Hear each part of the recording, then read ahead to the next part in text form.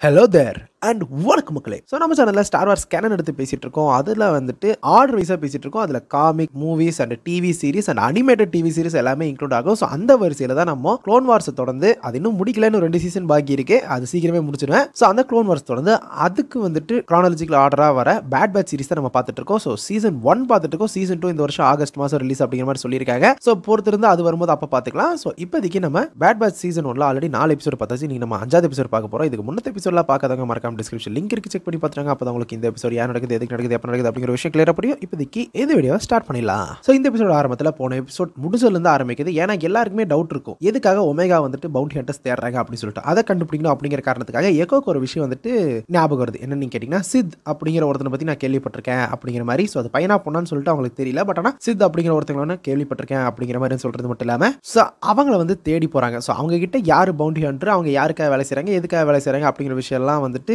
கேட்டால் தெரியும் அப்படிங்கிற ஒரு காரணத்துக்காக தான் போகிறாங்க ஸோ அங்கே போய் பார்த்தா அங்கே ஒரு ஏலியன் ஸ்பீசிஸில் இருக்கிற ஒரு லேடி இருக்காங்க. ஸோ அவங்ககிட்ட போய் விசாரிக்கிறாங்க. விசாரிக்கும் போது இந்த பொண்ணு யாருன்னு தெரியாது பட் ஆனால் ஒரு பவுண்டி ஹண்டர்னு மட்டும் தெரியும் அப்படிங்கிற மாதிரி அவங்க சொல்கிறாங்க அண்ட் நீங்கள் தேடி வர சித்துங்கிறவங்க யாருன்னு எனக்கு தெரியாது அப்படிங்கிற மாதிரி சொல்ல பட் ஆனால் நீ தானே சித்து அப்படிங்கிற மாதிரி ஒரு விஷயத்தை வந்துட்டு நம்ம ஒமேகா கண்டுபிடிச்சிடுறாங்க. ஏன்னா அவங்க பேசும்போதே பொய் சொல்கிற மாதிரி தான் இருக்குது அப்படிங்கிறத வச்சு அவங்க ஈஸியாக கெஸ் பண்ணிடுறாங்க. பட் தான் தொடர்ந்து நம்ம பேட் பேட்ச் நம்ம க்ளோன் ஃபர்ஸ் எல்லாருமே போயிட்டு கேட்குறாங்க இந்த மாதிரி எதுக்காக தர்றாங்க ஏன் தர்றாங்க தெரியணும் இந்த பொண்ணுக்கு ஆபத்து இருக்குது அப்படி மாதிரிலாம் கேட்கும்போது அது ஏன் எனக்கு தெரியாதா? பட் இருந்தாலும் முடிஞ்ச வரைக்கும் அந்த பவுண்டி ஹண்டர் எதுக்காக வந்துட்டு உங்கள் பின்னாடி வராங்க அப்படின்னு சொல்லிட்டு நான் கண்டுபிடிக்க ட்ரை பண்ணுறேன் பட் இருந்தாலும் அதுக்காக நீங்கள் எனக்காக ஒரு வேலை செய்யணும் அப்படின்னு சொல்கிறது மட்டும் இல்லாமல் ஜைகேரியன் ஸ்லேவர்ஸ் வந்து இந்த மாதிரி ஒரு குழந்தைய தூக்கிட்டு போயிட்டாங்க. அந்த குழந்தை பேர் வந்து மியூச்சி அப்படின்னு சொல்கிறது மட்டும் இல்லாமல் அந்த குழந்தைய வந்துட்டு காப்பாற்றி கொண்டு வரணும். அப்போ தான் நான் உங்களுக்கான டீட்டெயில் கொடுப்பேன் அப்படிங்கிற மாதிரி அவங்க சொல்லிடுறாங்க. என்னடா அது சரி ஓகே நம்மளுக்கு டீட்டெயிலும் கிடைக்கும். அதே சமயம் அதுக்கு நமக்கு கிரெடிட்ஸும் கிடைக்கும். ஸோ அதனால் ஓகே தான் அப்படின்னு சொல்லிட்டு நம்ம பேட் பேட்ச் வந்து ஒட்டுக்காக கிளம்புறாங்க. ஸோ அங்கே போய் கிளம்புறது மட்டும் இல்லாமல் அங்கே இறங்கி முடிஞ்ச வரைக்கும் அங்கே ஒரு குழந்தையும் அதே சமயம் கூட ஒரு பேரண்ட்டையும் வந்து பார்த்தீங்கன்னா பிடிச்சி வச்சிருக்காங்க. ஸோ அந்த குழந்தை தான் வந்து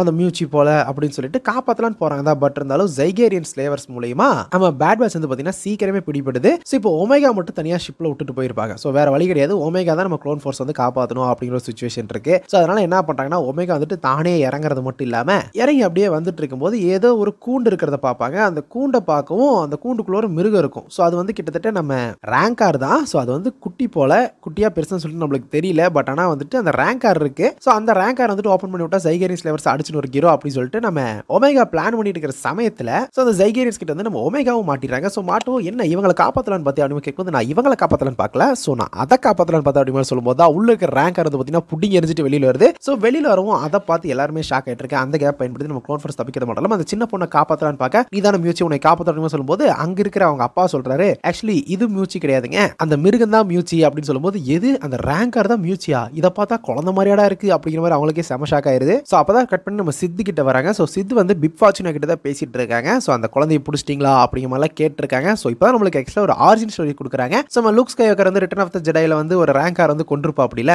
ஸோ அந்த ரேங்கார் தான் இந்த குட்டி ரேங்காருங்க ஓகேங்களா ஸோ பிக் ஃபார்ச்சுனா வந்துட்டு நம்ம ஜபாத ஹட்டு கீழே தான் வேலை செஞ்சுட்டு இருந்தாங்க. ஸோ அந்த ஒரு குட்டியை தூக்கிட்டு போகவும் எகைன் திருப்பி மீட்டு கொண்டு வந்து மேபி ஜபாத ஹட்டு கிட்ட தான் கொடுக்கறக்காக தான் இருக்கும் இல்லையா? ஸோ அப்படிங்கிற மாதிரி நம்மளுக்கு ஒரு சின்ன ஒரு டச் வந்து நம்மளுக்கு கிடைச்ச மாதிரி இருக்கும். அண்ட் அதே சமயத்தில் வந்து அந்த ரேங்காரை காப்பாத்துறதுக்காக வந்து நம்ம பேட் பாய்ஸ் வந்துட்டு ஒரு ஃபன் பண்ணுவாங்க. அது நல்லா இருக்கும். அந்த ரெக்கர் தாங்க. உண்மையாலுமே தரமாக ஒரு அலப்பரம் பண்ணிட்டு இருப்பாரு. ஜைகேரியன் ஸ்லேவர்ஸ்லாம் அடிச்சு போட்டு கடைசியில் அந்த ரேங்கர் வந்து பார்த்தீங்கன்னா அழகாக கூட்டிகிட்டு நேராக அந்த சித்தோட பிளேஸுக்கு வருவாங்க. ஸோ அப்படி பிளேஸுக்கு வரும்போது அந்த ரேங்கர் நல்லா நம்ம ஒமேகா கிட்ட பழகி இருக்கும். ஏன்னா ஒமேகா வந்து அந்த ரேங்கர் மேலே தான் உட்காந்துருப்பாங்க ஸோ கடைசியாக வந்து பார்த்தீங்கன்னா பிக் ஃபார்ச்சுனா கிட்ட அதை கொடுத்து விட அவருக்குமே செம சந்தோஷம். அப்பாடா குட்டி வந்துருச்சு அப்படின்னு சொல்லிட்டு. ஆனால் அதை தொடர்ந்து வந்து பார்த்தீங்கன்னா சித்து வந்து சொல்கிறாங்க இந்த மாதிரி ஃபெனிக் ஆண்டுக்கு டேரெக்டாகவே கமிஷன் வருது. ஸோ யார் வந்துட்டு அவளுக்கு வேலை கொடுக்குறாங்களோ அவங்ககிட்ட இருந்தே கமிஷன் வருது. பட் ஆனால் அவங்க யாருன்னு சொல்லிட்டு தெரியல அப்படிங்கிற விஷயத்தை மட்டும் சொல்கிறாங்க இங்கே பாருங்க ஒன்று ஒன்று மட்டும் சொல்லிக்கிறேன். உங்களுக்கு இப்போ தேவை பணமும் நண்பர்களும். ரெண்டுமே வந்து என்கிட்ட கிடைக்கும். என் கூட வேலை செய்யுங்க அப்படிங்கிற மாதிரி சொல்கிறாங்க பட் அதனால அதை தொடர்ந்து அந்த எபிசோட் வந்து எப்படி முடியுதுன்னா என்னதான் பேட் பேட்ச் வேல்யூபிளாக இருந்தாலும் அவங்க யாரையுமே நம்பக்கூடாது. அதில் சித்து ஒருத்தங்க தான் அப்படிங்கிற மாதிரி சொல்லி தான் அந்த இடத்துல க்ளோஸ் பண்ணி இந்த எபிசோட் ஃபைவ் ஆக்சுவலி முடியுது.